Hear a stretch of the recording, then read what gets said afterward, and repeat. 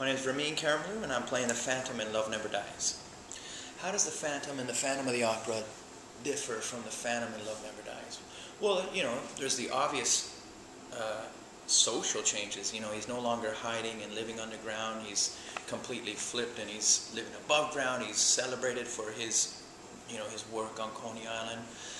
You know, how is he living now without his muse and trying to get her back? You know, we see him have her and his muse and what becomes his love all through the first one, and then he loses Christine.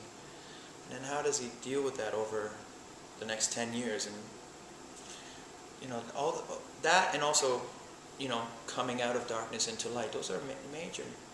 Socially, that that's a pretty major affecting thing on the character. What's one thing I hate about the character of the Phantom and one thing I love about him? Well, obviously what I hate about him is poor guy killed. So uh, murder is probably a no-no, and I can't find myself to like that. Although I empathize with him, I understand. Um, what I love about him, uh, I just love his passion. What traits of the Phantom's personality is similar to mine? Well, um, I, I think the main one that I really feel parallel with is just his uh, passion. Also being a perfectionist. The Phantom um, and I share that trait. You know, when is enough enough? That sort of thing. You know, you keep pushing yourself, you keep trying to get it right, which in its way, it's, it's not actually a good thing. I think th- those are the two main ones that, you know, it struck a chord with me when I first saw the show and still do now, in the original and in Love Never Dies.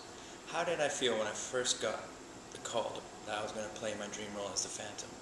It was, it, even now when I think of it, it's really surreal, and it's it was just you can't get a better phone call than that, you know. And it's it's sort of like I remember it hit me too. You think, okay, now now's the time to do what you always wanted to do.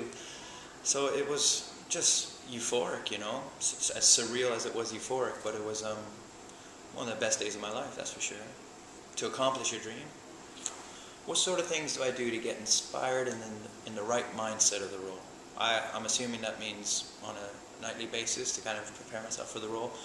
Well, you know, all that sort of begins in the beginning with rehearsals and even before you get to rehearsals, you know, you do your, your work, your homework on the show and your backstory.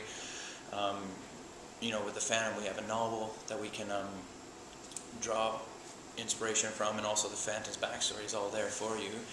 And then um, you can put your interpretation on it. So it becomes it's quite fun. It's like a creative writing process as well, and that's sort of your own personal homework.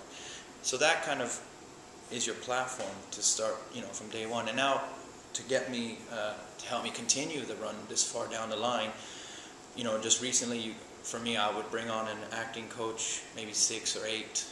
For me, it was 12 months into the run, and when I decided to stay on, so we we revisit all the backstory and all the notes that I made from before. I've sort of got a character Bible. And like sometimes on a day, if I'm physically tired, that you don't want that to be uh, so much of a, a wall as it.